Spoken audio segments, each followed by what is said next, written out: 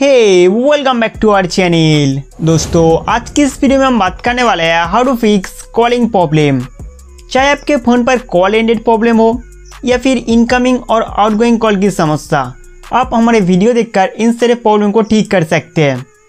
दोस्तों, सबसे पहले फ़ोन के सेटिंग्स में जाना है। फ़ोन सेटिंग्स को खोलने के बाद आप धीरे धीरे स्क्रॉल करके नीचे आइए। उसके बाद ऐप्स में जाना है। Next manage apps manage apps को खोलते ही यहाँ पर सर्च बॉक्स का बार देखने को मिलेगा। इस पर टैप करके फाइंड करना है फ़ोन फ़ोन लिखते ही आपके सामने दो ऑप्शन आएगा फ़ोन और फ़ोन सर्विस यहाँ से इन दोनों एप्लीकेशन का सारा डेटा क्लियर करना होगा। तो पहले हम फ़ोन एप्लीकेशन में जाके उसका सारा डेटा क्लियर कर देंगे। उसके बाद फ़ोन सर्विस में जाके इसका सारा डेटा क्लियर करना होगा। दोस्तों, इन दोनों एप्लीकेशन का डाटा क्लियर करने के बाद अपना डिवाइस को एक बार पावर बटन दबाए रिस्टार्ट कीजिए। रिस्टार्ट का मतलब है, फ़ोन को एक बार स्विच ऑफ़ करके ऑन कर लेना। दोस्तों, ज़्यादा समय इन सारे स्टेप को फॉलो करने से हमारे फ़ोन में 90 percent call related problem solve हो जाता है। अगर ये ट्रिक्स आपके लिए काम नहीं कर रहा है तो आप सेकेंड स्टेप फॉलो कर सकते हैं। सेकेंड स्टेप में आपको फ़ोन सेटिंग्स को ओपन करना होगा। फ़ोन सेटिंग्स को खोलने के बाद आप स्क्रॉल करके नीचे नीचे आइए, उसके बाद ऐप्स में जाना है।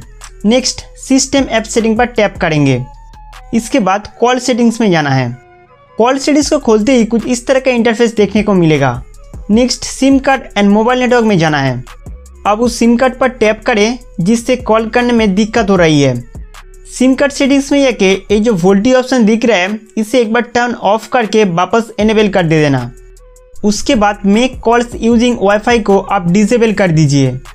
भले ही wifi calling features calling service को इम्प्रूव करने के लिए दिया जाता है, लेकिन हमने कई बार नोटिस की है ये ऑन रहने से कॉल काट जाता है, या फिर कॉल ड्रॉपिंग की समस्या देखने को मिलते हैं। उसके बाद यहाँ से बैक आइए नेक्स्ट एडवांस सेटिंग्स में जाना है। एडवांस सेटिंग्स खोलने के बाद यहाँ पर कॉल बेरिंग्स का सेटिंग्स देखने को मिलेगा तो इस पर टैप करें। कॉल बेरिंग सेटिंग्स को खोलते ही यहाँ पर कुछ समय के लिए लोडिंग होगा। उसके बाद incoming and outgoing call related बहुत सारे सेटिंग्स आ जाएगा। दोस्तों कॉल बेरिंग में अगर कोई भी ऑप्शन इनेबल है तो आप तुरंत उसे डिजेबल कीजिए। क्योंकि इनमें से अगर कोई भी सेटिंग्स इनेबल रहेगा तो आप इनकमिंग और आउटगोइंग कॉल नहीं कर पाएँगे।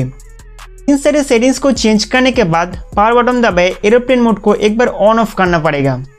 एरोप्लेन मोड ऑन ऑफ़ करने से नेटवर्क सिग्नल रिसेट हो जाता है। साथ ही साथ आपके फ़ोन में जो कॉलिंग रिलेटेड समस्या था, वो भी सॉल्व हो जाएगा।